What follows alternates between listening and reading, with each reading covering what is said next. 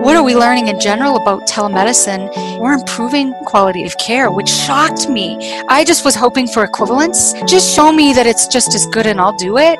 But what I'm learning is it's improving quality of care. Welcome to this episode of Hearing Health Today. I'm Craig Sharp. Today we'll continue our theme on telemedicine and hear from another expert who will give her perspective on how clinics can use telemedicine in practice and also provide insight into what's in store for the future of hearing healthcare, both challenges and opportunities. This is a podcast for hearing health professionals. If you are a person with hearing loss or a member of the general public, please seek advice from your health professional about treatments for hearing loss. Joining us now is Dr. Allison Biever, researcher and audiologist from Rocky Mountain Ear Center in Denver, Colorado, and instructor for the Institute of Cochlear Implant Training. Allison, thanks for joining us today. Where are you speaking to us from? So, I'm speaking to you from Denver, Colorado, and I work in a private practice here in Denver. Um, out of curiosity, are you uh, still practicing during the COVID 19 pandemic? Have you had to shut your offices at all? Are you still treating patients? So, during the entire pandemic thus far, we've stayed open. We have mm-hmm. largely seen more urgent cases. I think the hospital is probably happy to have us here on campus. We're not actually in the mm-hmm. hospital. We're in a medical office building attached to a hospital in Denver okay. that's Swedish, and uh, it's kept patients from having to go into the hospital for bloody ear canals, and yeah. you know we're still doing surgery with our tumor patients, and so I have continued to see implant patients that are off the air, are struggling with sound because mm-hmm. our office has been open. Some of our patients have come in. And so, are you seeing patients both in person and remotely as well? I am seeing more patients remotely than I've ever seen before, and I've always been a huge proponent of telemedicine, but I'm seeing significantly more since the beginning of March. Someone told me that you have a long history in telemedicine with audiology. So I'd love to learn a little bit more about that and when you started doing telemedicine or teleaudiology and how things have changed uh, in the years since you started. So I would love to talk about that because I'm very passionate about telemedicine. My interest was first picked about six years ago. Okay. And I, maybe even longer than that, I would probably say 10 years ago, but not in a very traditional sense. I was seeing patients that lived in Wyoming that okay. were anywhere from two to eight hours away from our office. Some of our patients couldn't come in. They were elderly, they couldn't drive. Yeah. One of the moms I worked with, she had a child with an implant. She had epilepsy, so she couldn't drive. So mm-hmm. I made the decision about 10 years ago, with my surgeon's blessing, to travel to them and set up remote oh. satellite clinics. Wow! So, so, you were traveling from Denver to Wyoming to do the. Okay, wow. That's how far of a drive is that? So to go to Casper, it's about four and a half to five hours. Okay. It's not too far, but it's kind of a central location in Wyoming. So patients from all over Wyoming would travel to Casper. Mm. And that continued for a number of years. It, it, was kind of a crazy thing, but as people found out I was doing that, they were very excited to start thinking about an implant because yeah. now this idea that they wouldn't have to travel to Denver entered their head. They heard mm-hmm. that an audiologist was going there to see patients. But it really became a um, kind of an unsustainable model. And I could talk more about that and some of the studies that we did as a clinic to show that telemedicine was very effective. But that kind of is what first picked my interest. And it did become kind of unsustainable. But the driving to Wyoming really gave me a lot of respect for how hard it is for people.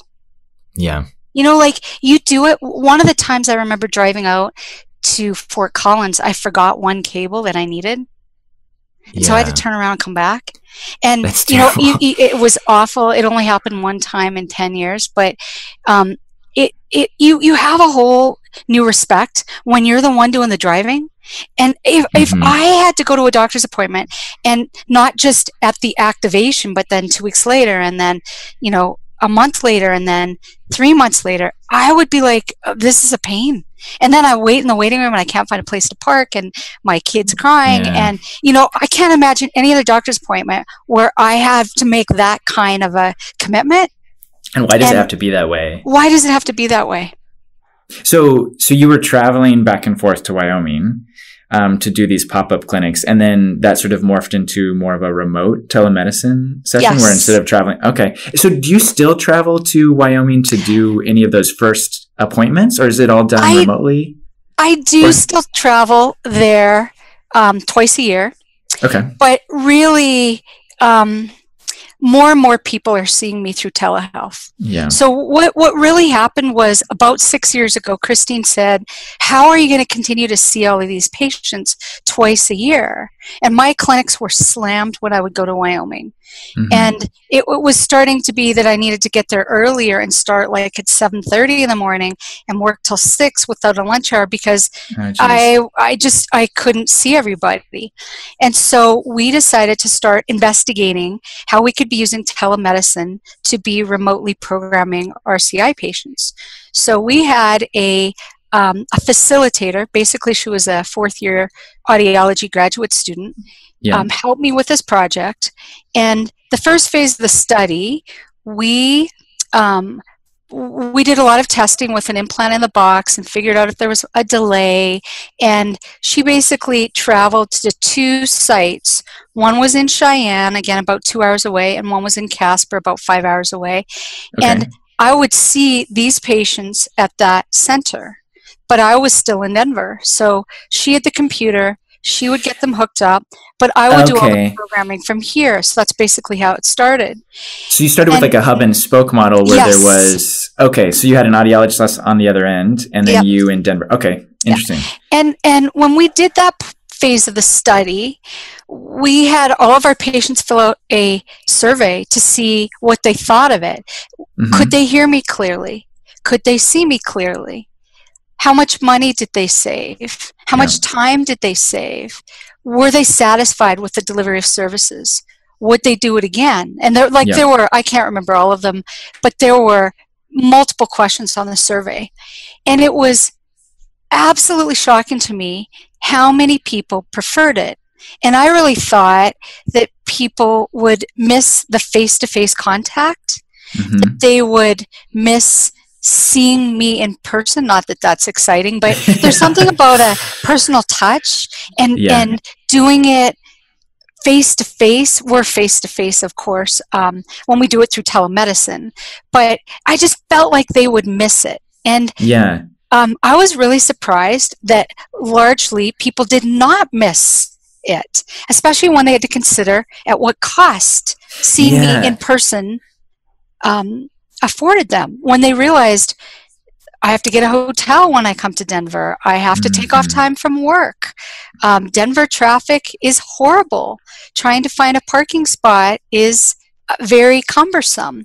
So when people were factoring that in, we just had an overwhelmingly positive response. In fact, we were we asked all of our patients to tell us if their satisfaction with telemedicine was very satisfactory, satisfactory, whether they were neutral about it, whether they, it was a dissatisfying experience or whether they were very Mhm. dissatisfied. And not a single person was neutral or dissatisfied. Oh, interesting. Everyone was everybody satisfied or very was satisfied. thrilled. And in fact, the only comment people had was, "Could you do this from our home?" Because Yeah, why am. I traveling from, you know, a remote part of Wyoming to go to Mm-hmm. Casper? Like this was great. Why can't you just do this from our home? So we did a second phase of the study, and I'm sure lots of them were in their pajamas from the waist down. yes. I've been doing a lot of that recently. So, right? And um, drinking their coffee and making themselves comfortable. So the second phase, we saw um, roughly the same number of patients, but they didn't have to travel. And um, it was the same setup for me, of course. And that was extremely positively received by all of the recipients of that study. The subjects in that study were thrilled. So that's kind of where it started. But for that particular study, we weren't looking at performance. We were Yep. just looking at did it feel the same for them? Could they? It was a feasibility study, exactly. I guess fast forward six years. What does it look like today? How are you treating patients remotely? Um, where well, are there's the patients? probably one step in between where we are today. I think that model by itself was great to mm-hmm. know that patients were satisfied was great, but I think there are probably a lot of clinicians that would have said, I'm not okay with that unless you can prove to me that they perform the same. Right. I, so that's one thing I was wondering. Uh, we we often hear in the audiology community, telemedicine sounds great, but I'm not convinced that it's as good as an in-person appointment. Right. I'm just curious to get your thoughts on that as you sort of went through the evolution of developing a practice where you're able to serve patients remotely. How did you address that challenge? Our office um, participated along with a number of other big centers in the United States. We were okay. part of an IDE FDA multi-center study to show that performance was equivalent, and we didn't know if it would be. And how did you and measure so, performance? We measured performance based on their CNC word score. Okay. Which is kind of a gold standard in our field. Yep. And so um, what we saw was there was not no difference in their outcome measures on a CNC word task, whether we saw them in the clinic face to face or whether we saw them through telemedicine. And I think that that was a pivotal piece. And I, yeah. I, I believe that that piece was really instrumental in getting the Food and Drug Administration in the United States to approve telemedicine for cochlear implant programming. Was that over the course of six months or a year, two years? Like, what did that look like? The study took a few months to complete. Yep. But this all happened quite a while ago. So this happened in November of 2017 that the study ended and yep. the Food and Drug Administration approved telemedicine for cochlear implant recipients and for programming of their devices. So um, it's kind of shocking to me that we got the FDA approval in our country almost three years ago. Yeah. And as clinicians, we're not running with this tool. Well, let me ask you the question you posed back to me. So, what do you think telemedicine will look like in audiology in a few years' time? What it looks like now is is um, really, really different than the models I described earlier. Yeah. So it's it's it's relatively easy. Um, more and more patients are familiar with platforms that would allow them to see me face to face. They're not in the same shipping... room with me. We ship a tablet. So this is how it works now. A patient contacts me, and this was happening very frequently over the last two months. They say, I don't want to come in. I'm nervous yeah. about coming in. Um, I know I want to see you, and I know I need to have my my processor reprogrammed, but I'm nervous about coming in. So we say, no problem. Your appointment's not for three weeks. We ship them a tablet. We ship them the um, pod. Yeah, we ship okay. them a cable that would go with their particular device. And once they receive it, they call us, confirm that they have it, and we're, we're uh, we send directions with, with, the tablet, so they have to connect to their internet, and they okay. have a process that they go through. So they're ready for their appointment. We call them a few minutes before their appointment. Mm-hmm. They get on the platform that we've agreed to use, and I literally step them through connecting their processor to the cable, which is attached to the pod, which is attached to the tablet, and I basically open up the software and take control of their tablet.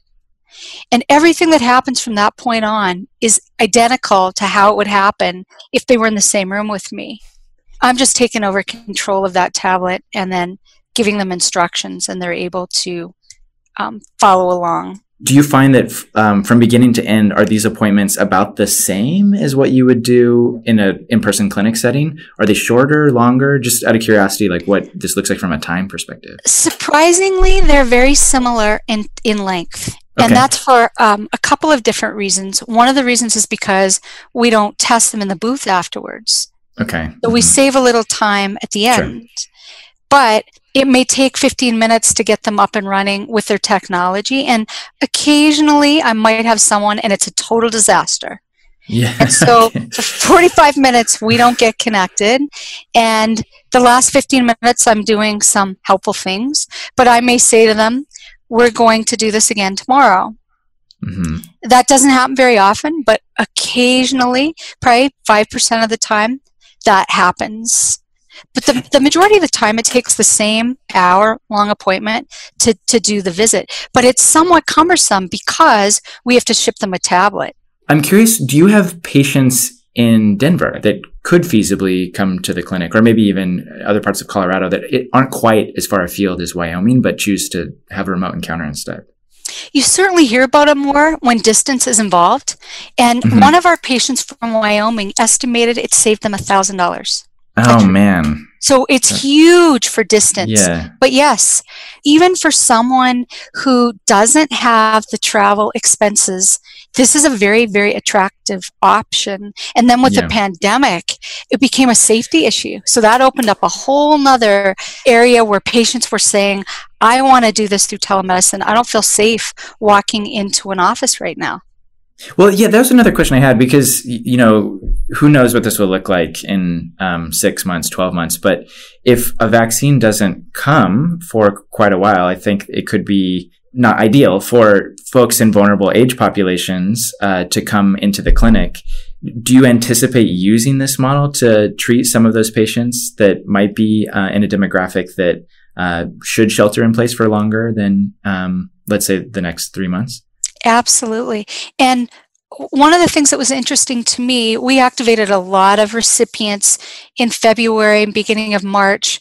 But the first two weeks of March, we saw six recipients, about six recipients, all over the age of 80. Wow, and okay. one of the things that's really exciting is how many 80 and 90 year olds are looking at this technology, which would be a yeah. whole other podcast.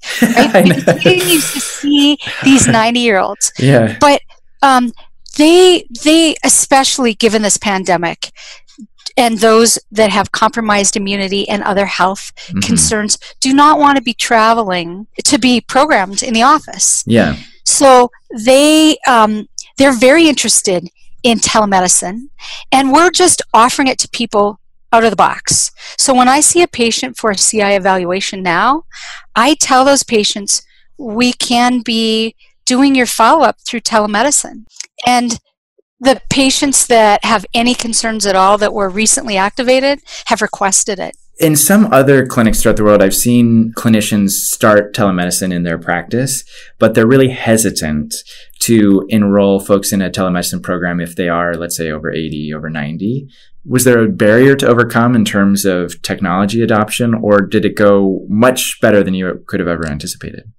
It went much better than I would have anticipated. However, we usually ask that there be another person in the room um, mm-hmm. for a couple reasons. In case they have a problem hearing what I'm saying, not mm-hmm. everybody mm-hmm. is, um, especially if they're newly activated, at a place where speech is really clear. This technology is amazing. Most people take off with it, but yeah. sometimes we have poorer than expected performers and mm-hmm. so to have someone there that can help intervene if they don't understand an instruction. But in addition to that, it's been helpful for them to navigate the internet. Um, yeah. I have some 80 year olds that haven't needed help and some that have needed help. And during this pandemic, I've had their 60 year old daughter or son mm-hmm. be extremely helpful in getting them hooked up to the technology. My vision for the future is yeah. that there'd be no tablet that we'd ship. Like, if we could make it even easier for patients, like I envision in six years from now that they could just download the software themselves from a cloud. Mm-hmm. They wouldn't need an interface pod. There'd be a way they could just interface and connect through the computer somehow. There wouldn't even, they could wirelessly connect to their software without needing the pod or cables. It just works. I it guess. just like, works. So, what do you have patients who are bimodal? We do. That would be a second issue where you would have to see them in the clinic. But again, I don't think that's that far away.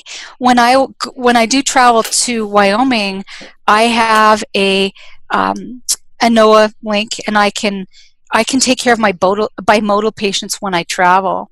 But yeah I haven't been able to take care of my bimodal patients through telemedicine. Yeah, so not they yet. say, okay. "Can you adjust my hearing aid?" I can't. I can't do that. But even that is changing very, very quickly. The hearing aid manufacturers are all providing ways for us to do it through telemedicine. So uh, I wanted to go back to something you mentioned earlier. So you said that you are shipping a tablet and a cable, a pod to the patient in order to facilitate the telemedicine encounter. How do you manage the logistics, I guess, on your end of like shipping and receiving those tablets? Was that something that you guys had to adapt to as a as a clinic and figure out how that worked? So we have an administrative assistant, which I would highly recommend. I don't have to load the tablet. So she has to strip it down. Of course, during the pandemic, it has to be cleaned. Mm-hmm. It has to mm-hmm. be sterilized, but also because of HIPAA and different countries might have different obstacles they would face, we have to strip it. It can't have any other patient files on it. Yeah. So yeah, that when I open it up remotely, I open up the software, the only file that appears, the only CDX file they see is their own. Yeah. Um, and so she takes care of all of that she tracks it she tells she she takes care of all of that i literally show up at my desk and i i am actually thinking where's my patient and um, I get a call from our front desk that says, Your patient's waiting online too, and they're wondering why you haven't contacted them because you're seeing them through telemedicine. And I'm like, yes. Oh, yeah, right. Okay. right. Yeah, here we go. One thing that I find interesting about the um, telemedicine during this pandemic is that it's really accelerated adoption sort of across the board um, in a whole bunch of therapeutic areas within healthcare. Do you have any thoughts on what we could learn from how telemedicine is being used in other therapeutic areas in terms of best practice that we might be able to bring into the hearing health community? A couple of things. In watching the speech and language pathologists working with telemedicine, yeah. they do it so easily. Yeah. They do it so easily. So we have to get away from the equipment. It, yeah. The equipment needs to be more accessible. That's something we can learn from other disciplines. Sure. Um, whether Cochlear could provide it as something they could pick, like an accessory, access to a tablet that Cochlear shipped to them whenever they needed it, whether it was something that was provided in a cloud, like a link to the software. We've got mm-hmm. to get away from the equipment because it would be hard to have enough tablets on hand to take care of the number of people I'm currently seeing through telemedicine. In other words, they're having to wait till our tablets come back before I can send another tablet out. Yeah, okay. So there's some so limitation. Equipment's the mm-hmm. equipment's a, a, limitation and we can learn from other disciplines how much easier it would be if we weren't bogged down by the equipment. But the other thing that we can really learn is how to be better educators. So i feel like our speech and language pathologist friends have done a really good job of engaging the parents that they're working with to to become better aware of how to be therapists themselves. Yeah so, one of the things I feel like we can learn as clinicians and that I'm learning through telemedicine is how much patients are interested in seeing the screen, how much they want to learn about their maps, yeah. how they can see it. It's interactive in a way it wasn't before. I feel like we have a lot that we need to do to be better educators of our recipients about, like I said, their maps, their equipment, the technology in general. It kind of reminds me, I guess, of the adoption of electronic health records, where, you know, for a while, physicians were behind a computer, like charting a, about a patient, sort of not including them in the encounter. But now you're seeing a lot of clinicians sort of involve the patient and sort of what uh, that creation of a health record looks like. Is, is that, you know, a model I guess uh, we can recreate in audiology as well? Absolutely. And even the questions that they should be asking. When do they need reprogramming? I feel like we could be educating our recipients better about um, when they need intervention. Like I feel like that's yeah. a piece that's missing, yeah. or that we somehow have. You know, you just have these routine appointments that are scheduled, and sometimes patients will still say to me, "Why am I coming in again?"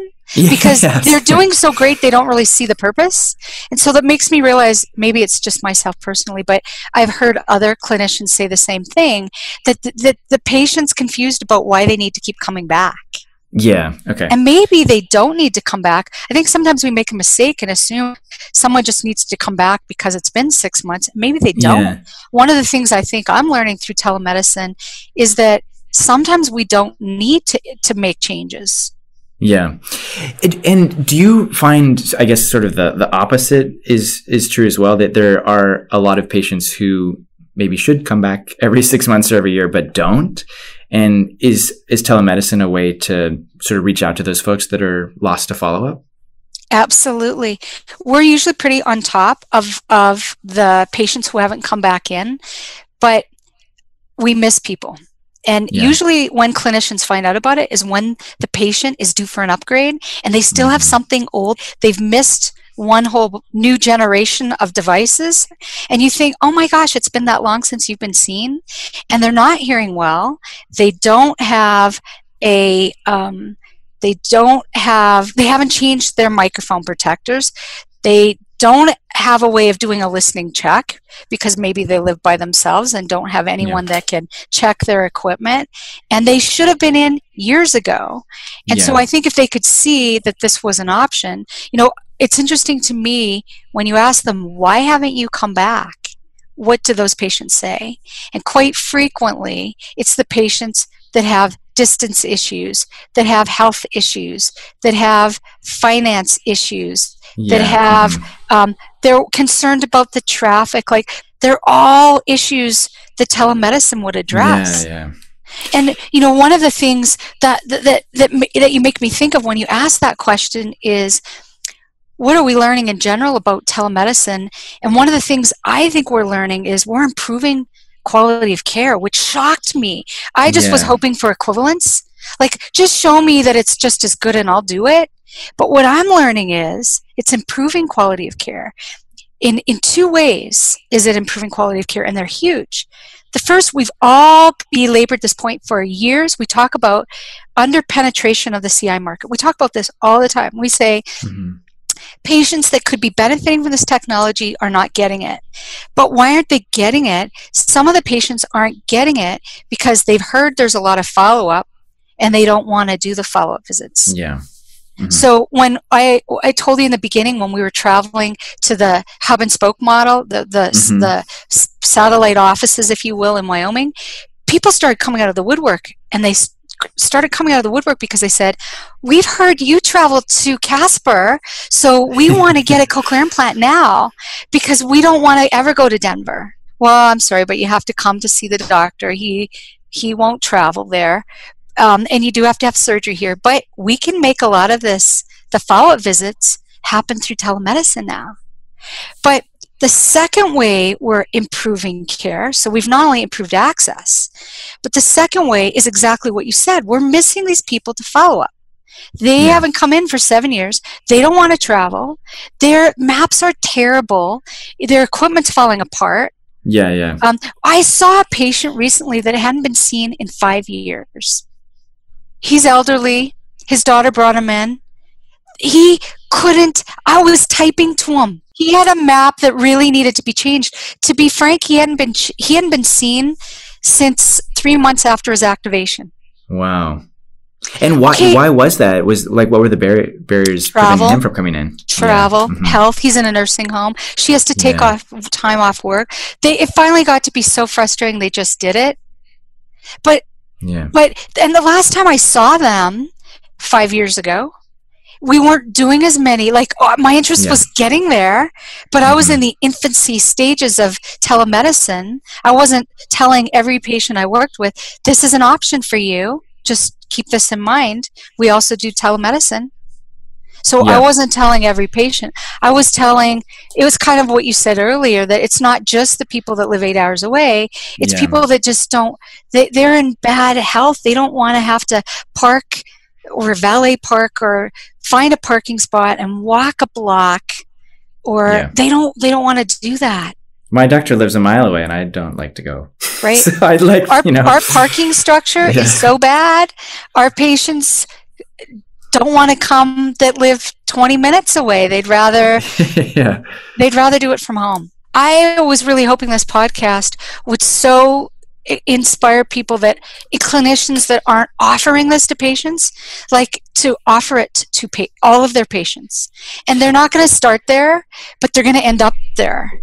They're going to start with choosing the patients that this makes sense for and they're going to yeah. get experience with it and they're going to see oh my gosh i could be doing this ah, i could be doing this for this patient that does live 20 minutes from the office but is in a nursing home they yeah. don't have to come in a lot of clinics around the world are um, thinking about starting telemedicine programs now, partially out of necessity, but but partially because uh, it's becoming more common, just sort of in, in healthcare at large.